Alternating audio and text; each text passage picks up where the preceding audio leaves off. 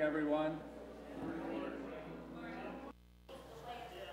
Can I get you to look at your bulletin so we can just go through the, some announcements real quickly? First of all, directory photos. If you've gotten your directory photo done already, we are grateful. We're glad that you did that. We want you in the directory. We want to know each other.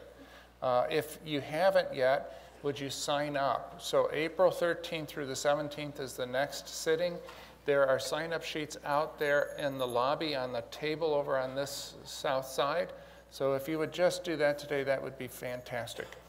Change Your World monies are being collected today. That's going to Forgotten Man Ministries. Check out what's happening in youth ministry. There's several ways of raising funds for this year's Mexico trip. We have 12 students going, three adults going with them. They're scheduling service projects right now, so that's one way that you can help financially is have them come over to your home and do some work. And uh, there's also Taco Tuesday coming up. You read about that. Congregational meeting, you can read the results of the congregational meeting. We had a good meeting the other evening.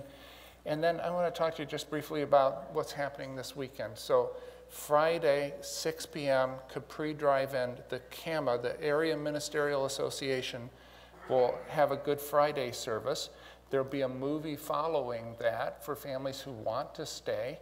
There will be an offering so that when you drive through, if you want to give to help with the costs that the Capri basically are, are taking on themselves, that would be great. And then Saturday at 3 o'clock, we have our Saturday weekend service. This week it will not be the, like the Sunday service. So it will be a service of of readings and devotional. It's a Holy Saturday service. If you've never been to one, I invite you to come to that. 3 o'clock on Saturday. Sunday morning at 7.30 will be our sunrise service. And then at 11 o'clock, a second service, our celebration of Easter service. I want you to come, if you can, to all of them.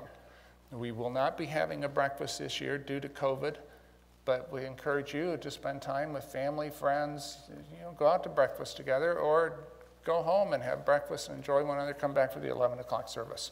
There are other announcements in your bulletin. I will let you read those. We're going to worship together.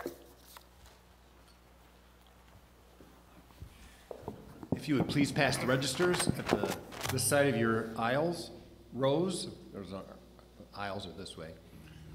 Um, let us know that you're here this morning. call to worship is from the Gospel of John, chapter 12, verses 12 through 15.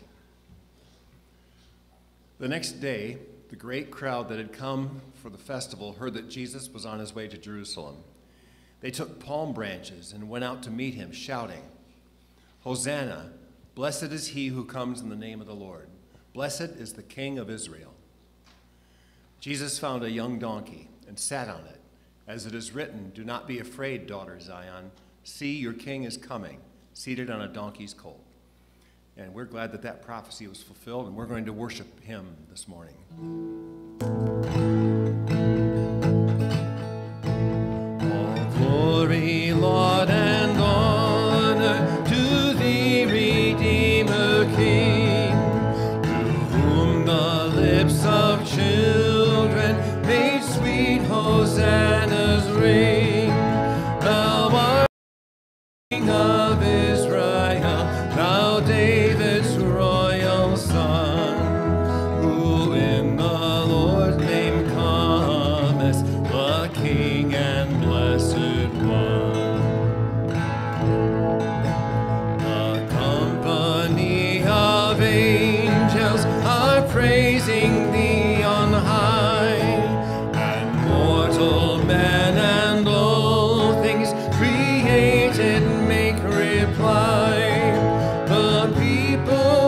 Of the Hebrews with palms before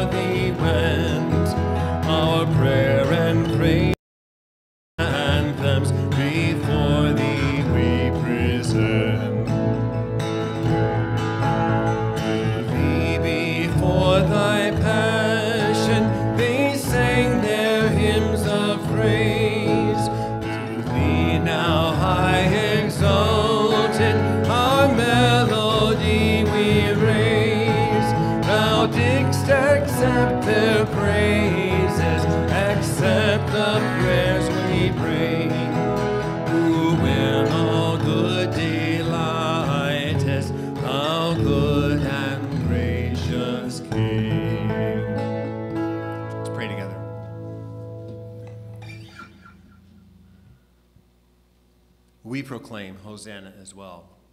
Jesus saves. He saves because he loves. The Father sent the Son, demonstrated his own love for us in the sacrifice of his Son on our behalf. And Lord, we stand because of you. We stand before you because Jesus hung on a cross. We have eternal life because Jesus was raised from the dead. And we stand on that hope. We stand on your word and we commit ourselves to you, Lord, your people, your children redeemed by your blood. You are the blessed hope. Thank you, Lord, for all your mercies and all your grace. In Jesus' name we pray. Amen. Let's continue worshiping.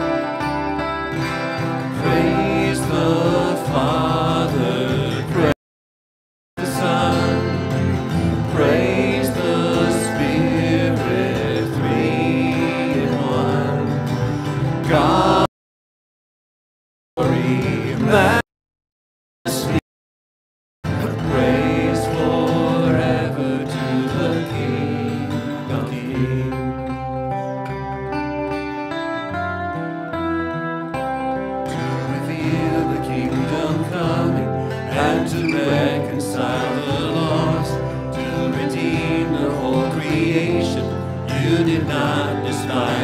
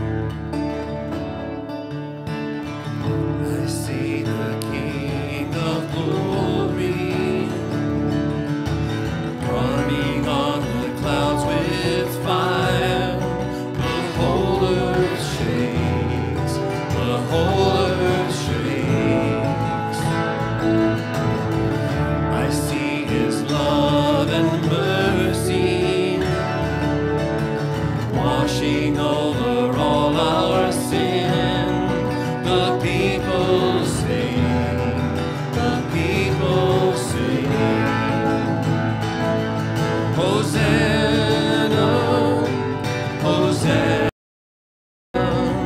Hosanna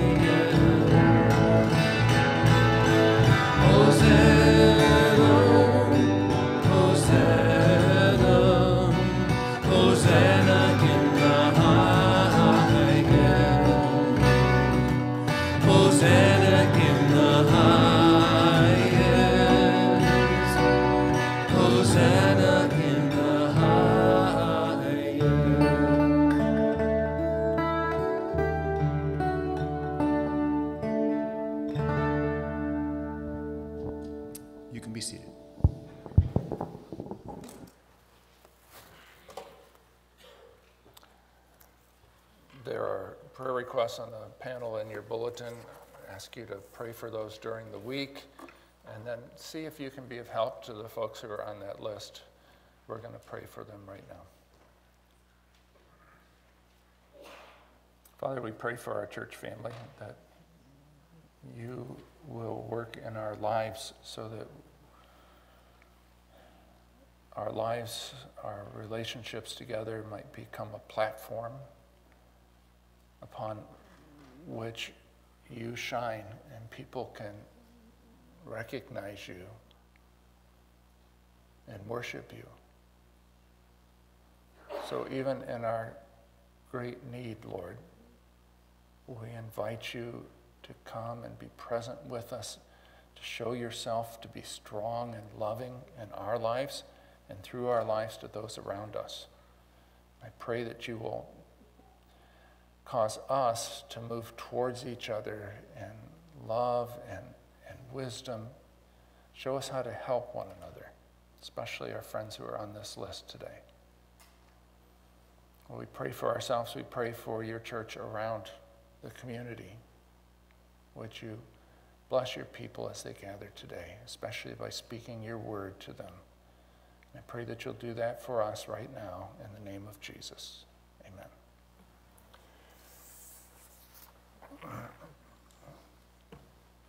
Any of you remember algebra, eighth grade, probably? Did you, did you do that? You don't remember it though, do you? In algebra, there's an order of operations to be followed. And I don't think my teachers made that sufficiently clear. So if you take things out of order, you're inevitably going to end up with the wrong result. So for example, I put a uh, equation on the screen for you to look at, 4 times, and then parentheses 5 plus 3 in parentheses. If you compute that problem from left to right, which is how we're used to reading in English, you'll multiply 4 times 5, you get 20, then you add 3, your solution's 23. That's all great, but it's the wrong solution. It's wrong because there's an order of operations that need to be followed. In algebra, it's necessary to perform operations within parentheses first. Now, if we do that in this equation, if we follow the order of operations and we add 5 plus 3 first and then multiply by 4, we'll get the correct solution, which is 32. In the Christian life, there is also an order of operations to be followed. The vision statement at Lockwood, committed to Christ, to Christ's likeness, to each other, to the world, reflects that order. Our initial commitment to Jesus as Lord, when kept and made, will lead to the other commitments, including the one to the world. That's because people who make a sincere commitment to Jesus as Lord will naturally, although with supernatural help, desire to be like him. And people who are like Jesus will, like Jesus, be committed to each other and to the world. If it's our commitment to the world we're going to explore today. But we, we need to get the order right. Commit first to the Lord Christ, then the commitment to the world is inevitable. Get the order wrong and make the commitment to the world first, and there's no guarantee that you'll ever commit to Christ. The only guarantee is that you will be really tired. The life of the Apostle Paul is a case study in how this works. The commitment he made to Christ as Lord led him into each of the other commitments in our vision statement, including the commitment to the world. It's that one we're thinking about. Let me read 1 Corinthians 9, verses 19 through 22. This is St. Paul writing to the Corinthians, and he says, Though I am free, and for them that might mean something a little different than it would for us. In Corinth at the time, something like half of the population was in slavery. So when he uses the word free, it's in contrast to being enslaved. Though I am free and belong to no one, I have made myself a slave to everyone to win as many as possible. To the Jews, I became like a Jew to win the Jews. To those under law, I became like one under the law, though I'm not myself under the law, so as to win those under the law. To those not having the law, I became like one not having the law. Though I'm not free from God's law, but I'm under Christ's law. So as to win those not having law. To the weak I became weak, to win the weak. I have become all things to all people, so that by all possible means I might save some. Paul's radical commitment to the world was based in part on a belief that he held that not everyone shares. That belief underlies what he wrote in verse 22, where he explains the reason behind his way of life. I've become all things to all people so that by all possible means I might save some. Paul believed that people need to be saved. Now, isn't that old fashioned?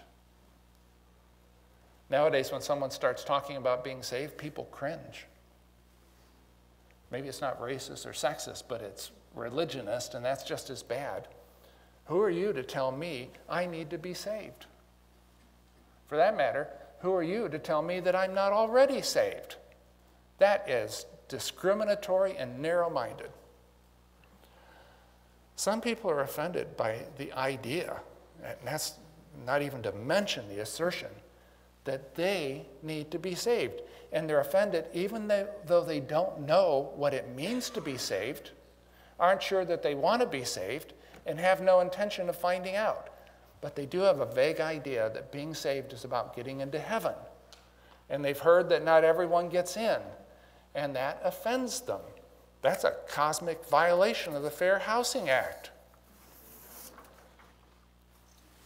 But when Paul uses the word saved, he has so much more in mind than just getting into heaven.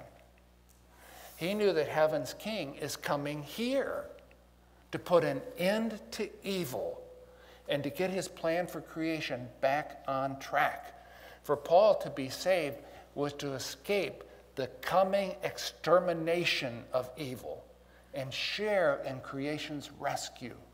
The true king is coming. Anyone can join him. No one can stand against him. But there's more to this word. To be saved, and this is one of the primary meanings of the word in the Gospels, is to be healed of hurts, both those done to us, those done by us. To be saved includes being saved from the ultimate hurt of death. To be saved is not just to live again after we die, it's to live for the first time as God intended joyously, vigorously, lovingly, worshipfully, eternally. Paul understood that people's most pressing need can't be met by economical or psychological means, as important as those things are. We need to be saved by a power outside of ourselves saved in the richest, fullest sense of the word. We need, we need a salvation that changes our relationship to God, that changes our relationships to one another and to ourselves, that remakes us and sets us free to reach the mind boggling potential with which God created us. But everywhere the apostle looked, he saw people not experiencing that wasting their lives, awaiting wrath, heading for ruin. God didn't create us for this, for hatred and greed and despair and distraction. Christ didn't die so that we could fall further into such lives, but to give us new ones. Paul longed for people to have those lives. He wept at the thought of them being caught up in the terrible annihilation of evil. He was looking for ways to be an instrument of God's salvation in people's lives. And to that end, he was willing to sacrifice his rights or even to make use of them, if that's what it took, in order to persuade people to come over to God's side. And what's more, and this is relevant to us, he expected the rest of us to do the same. Listen to what he wrote just a little later in the letter. That was middle of chapter 9, this is chapter 10. Wrote to people, churchgoers, Christians, just like us. So whether you eat or drink or whatever you do, do it all for the glory of God. Don't cause anyone to stumble, whether Jews, Greeks, or the church of God. Even as I try to please everyone in every way for I am not seeking my own good, but the good of many, so that they may be saved. Follow my example as I follow the example of Christ. Follow my example, he says. Live the way I do. Be ready to make sacrifices in order to help people come over to Jesus. Everything you do, religious or otherwise, must make God look good. That is, do it all for the glory of God. Now, doing all for the glory of God involves both a negative, what we shouldn't do, and a positive, what we should.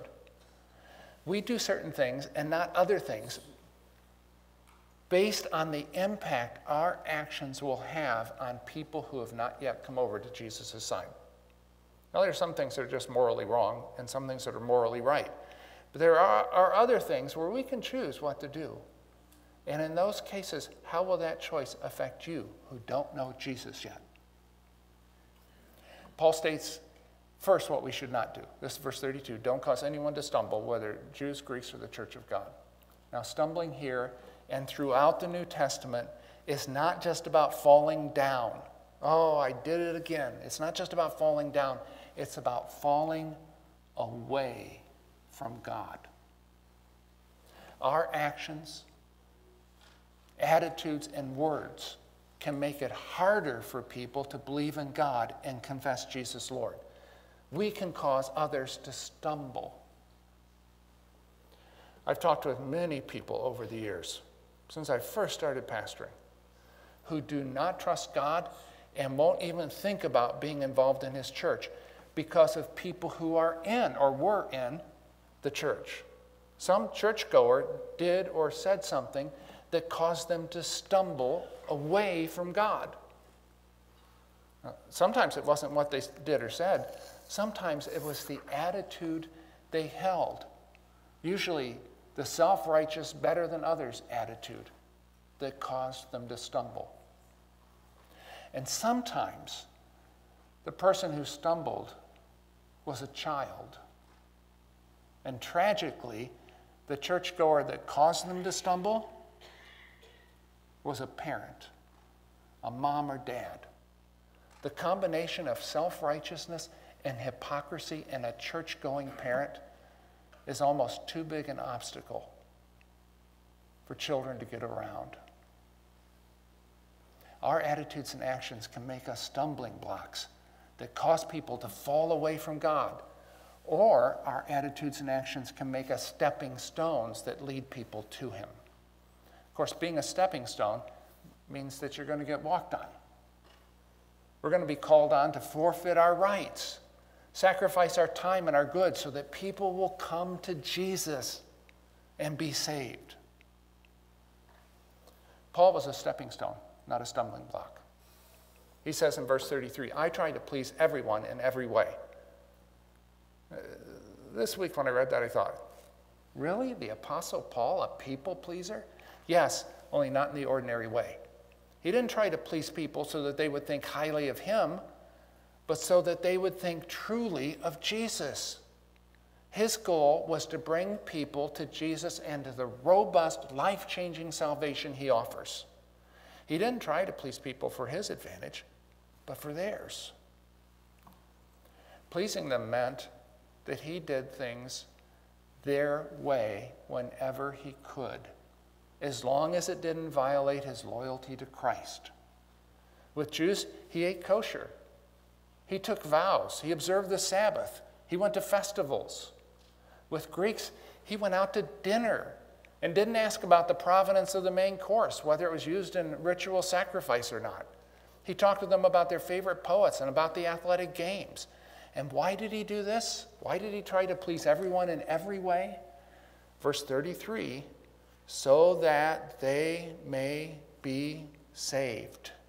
That was Paul's mindset the proud Pharisee who believed that there is a right way, the Pharisee's way, to do everything, was willing to do things other people's way in order to win them for Jesus. He knew Jesus as the cure of hurts, the forgiveness of sins, the light of the world, the way to God, the King of the earth, the hope of glory. And he would do what it took to see people come to him. Paul was committed to winning people, not to conquering them, but to winning them to Jesus. Whatever he was doing writing, reading, traveling, eating, teaching, tent making whatever he was doing was subsumed into that goal. Whatever it took, he would do. And he expected us, this is chapter 11, verse 1 to follow that example. So ask yourself what can I do to follow Paul's example? How about at work? Can I please my boss, my fellow employee, in ways that are good? What about at home with my family, my children, my spouse? What would it mean for me to please the people in my life, to do what they want as often as I can, as long as it's for their good? Am I willing to do things someone else's way in order to win them? Paul wasn't only willing, he was able to keep at it year after year. And it was because he'd made those prior commitments to Christ, Christ likeness, to each other, that he was able to do that. Without those commitments, his commitment to the world would have collapsed. So will ours. Paul tells his readers, that includes us now, to follow his example. But I want you to notice that he was following Christ's example. He didn't come with it, up with this on his own. He learned that, that whatever it takes attitude to see people saved from Jesus. Jesus did what it took, even when it meant sacrificing himself.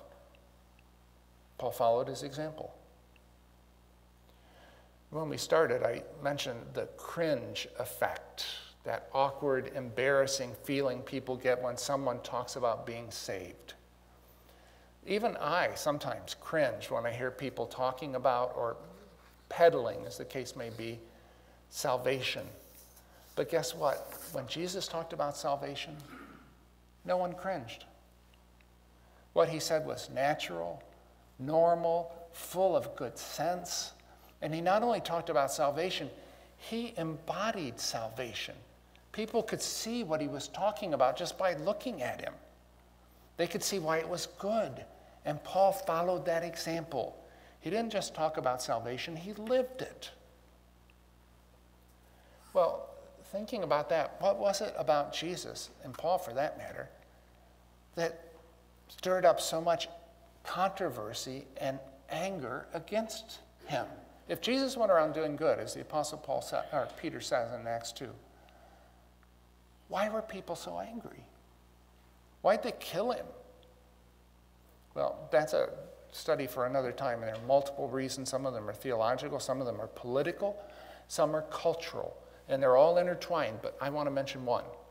In the first century, a powerful idea governed Jewish society and had for several centuries before that religious people should avoid irreligious people, sinners for short, whenever possible.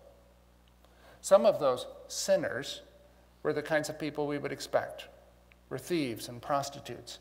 But others were just ordinary people who had to work on the Sabbath, like shepherds. They couldn't take the Sabbath off. Or whose work made them ritually unclean, like tanners, Simon the tanner, for example or who did business with the occupation government, like tax collectors. It wasn't always possible to avoid those people. You needed to pay taxes. Maybe you needed to buy a sheep or have a new leather flask made. But you would spend as little time with those people as possible. They were sinners. One thing you would never do is eat with them. In that culture, sharing a meal with someone identified you with that person. Eating together symbolized approval. So, guess what Jesus did? He ate with sinners on a regular basis. And it was scandalous. Listen to what people said about him. Look at him a glutton and a drunk, a friend of tax collectors and sinners. They complain, This man welcomes sinners and eats with them. He's gone to be the guest of a sinner, they said in disbelief. The Pharisees asked, Why does he eat with tax collectors and sinners? And people had the same reaction to the Pharisee Paul once he started modeling his life on Jesus's. Why was he doing this? When Paul gave his reason, it was not for the sake of social justice, nor was it to shake up the establishment. This is how he put it I'm not seeking my own good, but the good of many so that, and here's his reason, they may be saved. Just like Jesus, who said, The Son of Man came to seek and save what was lost. Jesus, and later Paul, acted in what was then, and frankly is still, a radically subversive way. they befriended people, including sinners. They did this in spite of criticism, constant criticism, because they knew that God Himself is a friend of sinners. Now, Paul's former colleagues would have vehemently denied that. They would have said that God is the enemy of sinners, but they were wrong. God Himself, as Paul came to realize, wants all people to be saved. Is that what we want?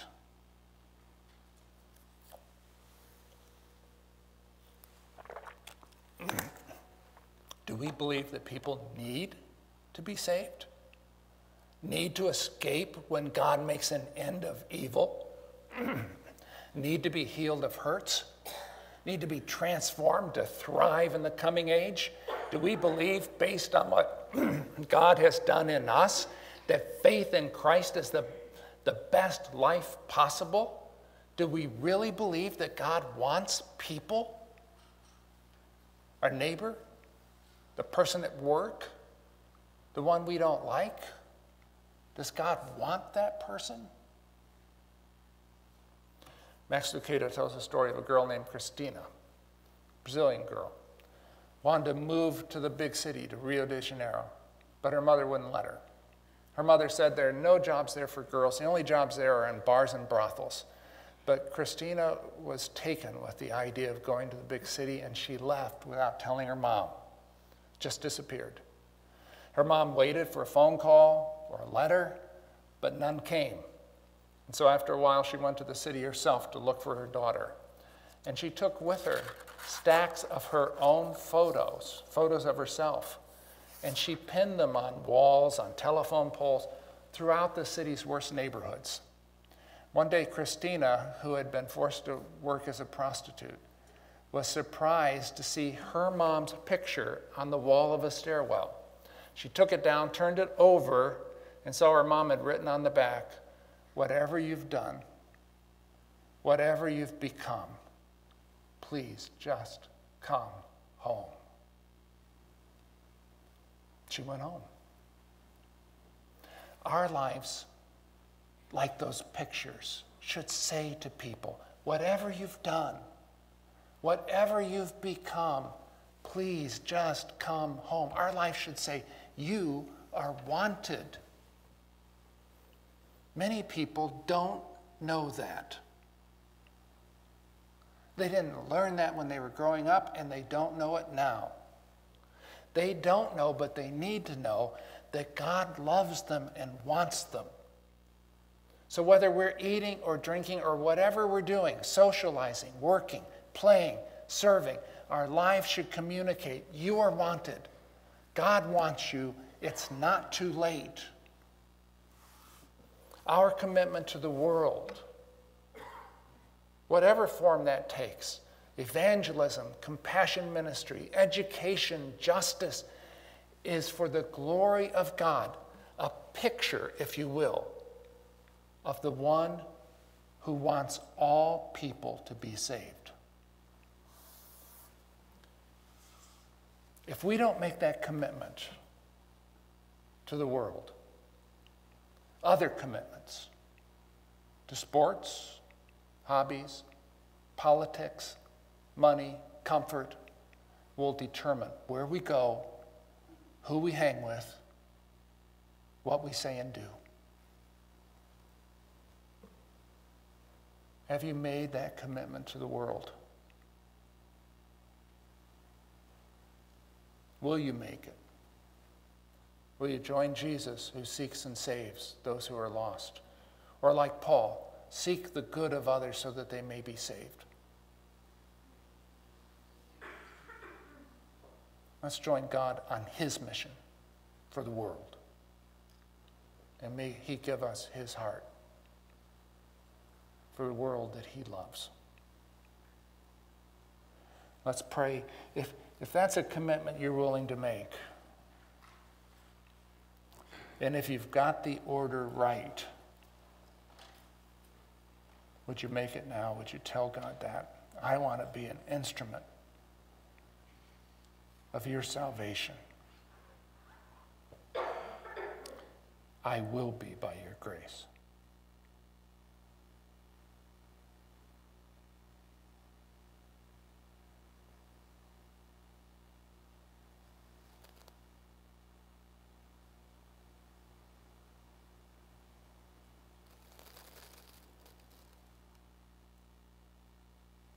Lord, would you hear our prayers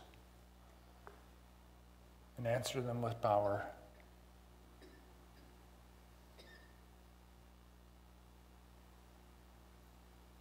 Would you make us at Lockwood Church